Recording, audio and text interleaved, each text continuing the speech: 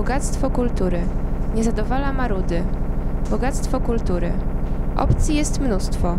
Kino przedstawia kolejne bóstwo. Kadry łączą się w jedność, ukazując czytelnika krzepkość. Bogactwo kultury. Oferty jak z księżyca okrągłego. Nie przekazują nic podłego. Maruda powinien być zadowolony.